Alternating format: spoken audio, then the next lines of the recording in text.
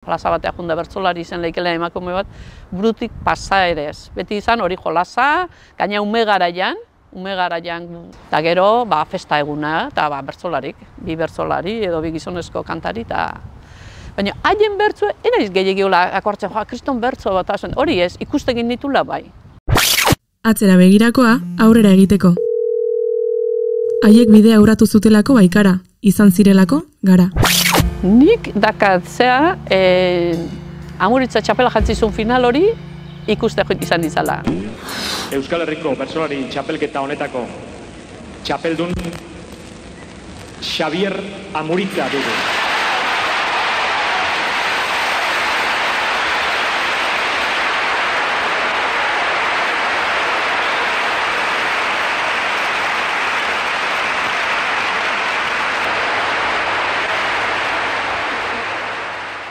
Da txapelketa hori hartzen naiz, gagango girua dana gizon eskua dana hori bai.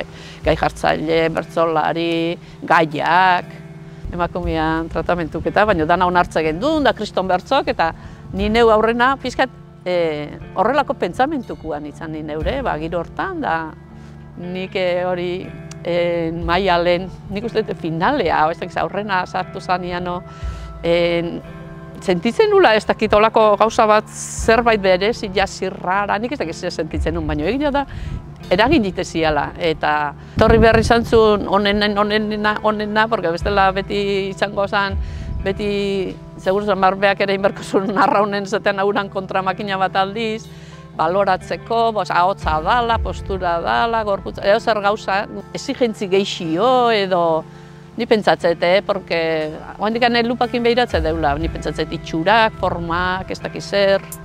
2000 bederatziko txapelketa nagusiko txapeldun Maialen Lujanbio! Oh.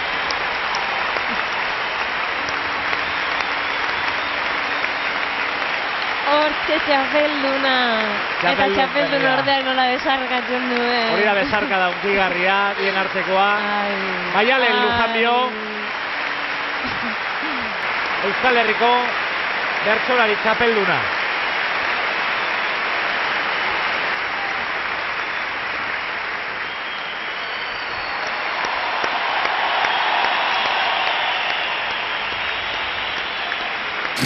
Ba, berro eta marrutekin, kasualidadez, hori joko helduen bertso eskolan azitziak, horren jan bertzotan beste ikuspuntu bat jarri zen, hori egila da.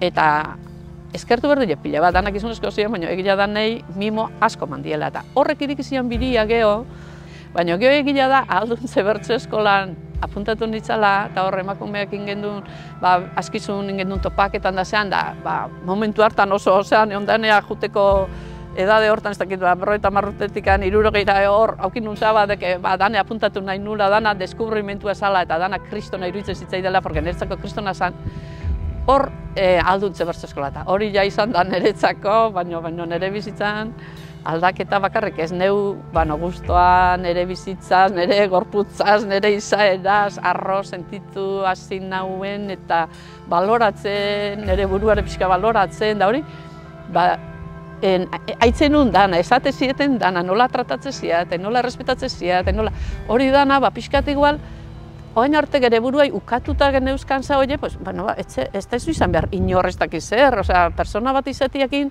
merezi dezu errespeto bat, eta izan nahi dezun bezala izatiakin da.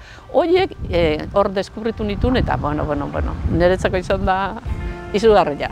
Eta hor, ba, bertzua eta emakumea, osea, asko, asko, asko. Niretzako asko balin izan dit. Adozena zarautzen zegoen, urruti zenik ezpentza, Seinyorarek emate zuen, zuela gure jabetza. Arazartzean astu genuen, amaren menda erretza. Grazik buruan genuen azan, erromerian ametza. Zukaldekoak bat atxurila, donzelak uniformea, ume zaitzaile eta begiraile, beti behar neskamea. Baserritarra izan behartzan, eta eskalekumea.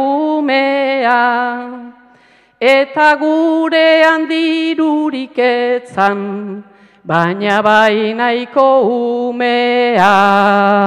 Bueno, emakumea dijo asti oso ondo, eta pasakoiaren pasakoia, eta igual mesi duen danak ez dakit pasakoian, porque zan nahi dut, baino egia da oso ondo bertutan egiteuela gainetikan, meritu handi hondikin, eta ni arro, arro, arro nao, neska bertzolaritas.